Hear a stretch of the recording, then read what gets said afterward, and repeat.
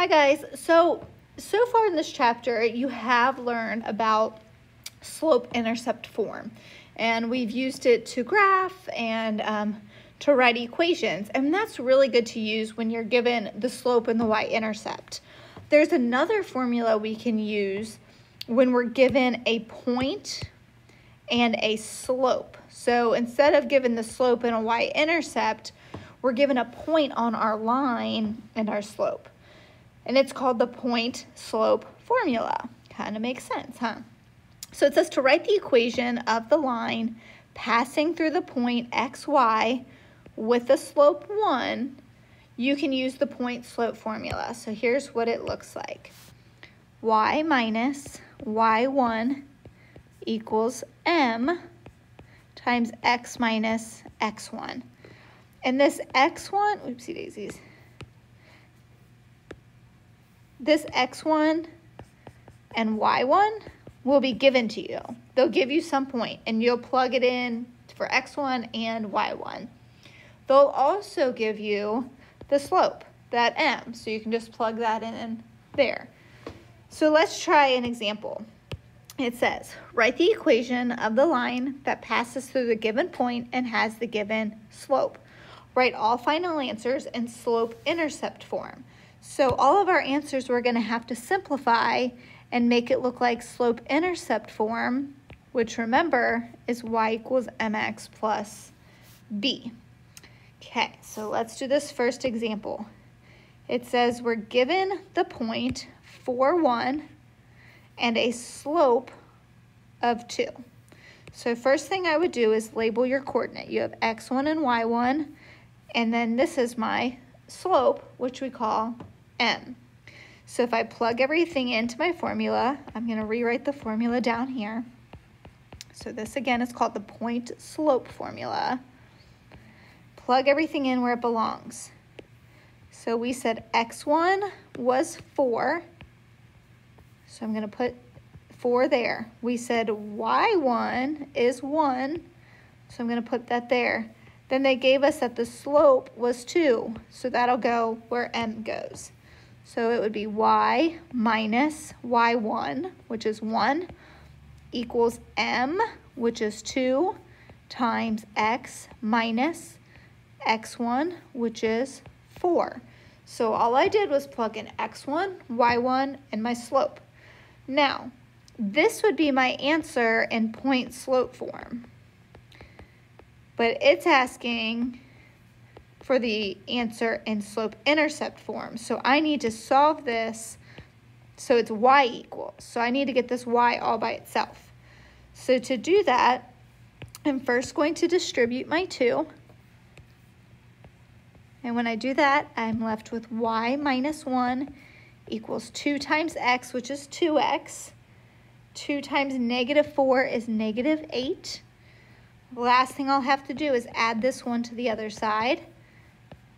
I now have y equals 2x.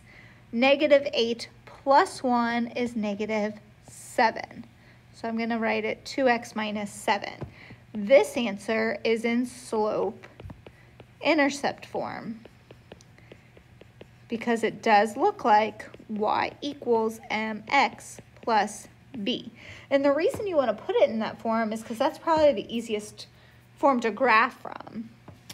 All right, I'm going to let you try. Actually, I will do um, number two with you guys. Okay, so first things first, let's label our x1, y1. So they give me the point 2, So that's x1 and y1. They tell me my slope is a half. So that is m. If I plug everything in, y minus y1 equals m times x minus x1. Plug in everything where it belongs. So y1 is 4. So y minus 4 equals, my slope is 1 half, that's what m is, x minus x1 is 2.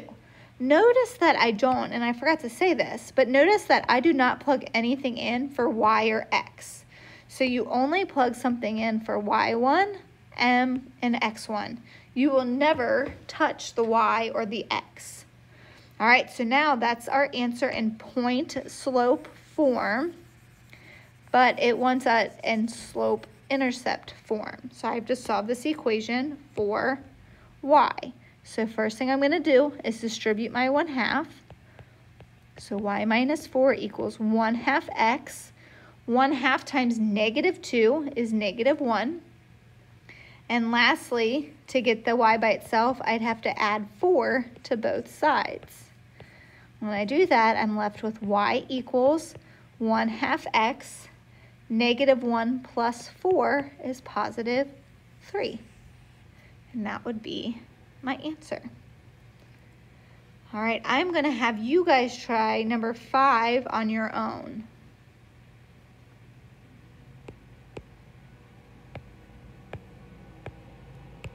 Let's do number 6 together. So it gives me the point 0, negative 9, and says I have a slope of 4. So I'm going to label my first coordinate x1, second coordinate y1, and my slope is, of course, what m is. So I have y minus y1 equals m times x minus x1. So if we plug in everything we were given,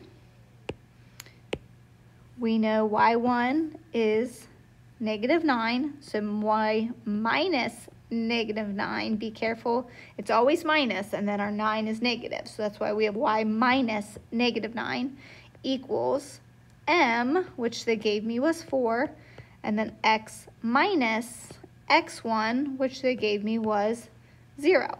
So now I can clean this up a little bit. My y minus negative 9, that minus negative, makes a plus. So that's like y plus 9. And then x minus 0 is just x. So now when I finish solving this, because this was my point slope form, and they want it in y-intercept, or slope intercept, sorry, we're going to subtract 9 from both sides. When I do that, I'm left with y equals 4x, and I can't subtract the 9 from 4x. This is like plus 0. So 0 minus 9 is negative 9. So your answer would be 4x, y equals 4x minus 9. All right, go ahead and try number 7 on your own. Be careful with the negatives because you're going to have minus a negative 12 and minus a negative 5. And remember, minus a negative always equals a positive. All right, let's do number eight together. First label, x1, y1, my slope is m. My formula is y minus y1 equals m times x minus x1. If I plug everything in, my y1 is negative 8. So y minus negative 8 equals, my slope is negative 3 times x minus my x1 is positive 3. So if I clean this up a little bit, my y minus negative 8, that minus negative makes a plus. So I have y plus 8 equals, distribute my negative 3, and I get negative 3x. Negative 3 times negative 3 is positive 9. And then my last step to solve this for y, to get the y by itself, would be to subtract 8 from both sides. 8 minus 8 cancels. I'm left with y equals negative 3x.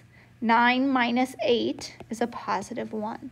So my answer is negative 3x plus 1. I now would like you to try number 9 on your own.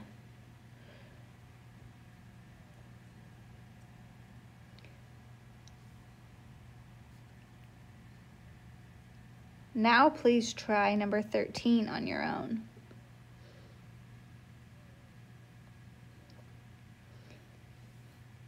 Lastly, let's do number 16 on your own.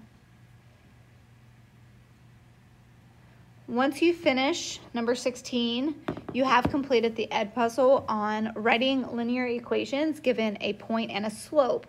Um, again, this is called the point slope formula. So it's very important to use, or it's a little bit easier, I should say, to use the point slope formula when you're given just that, a point and the slope. It'll make your life a lot easier. All right, if you have any questions, let us know.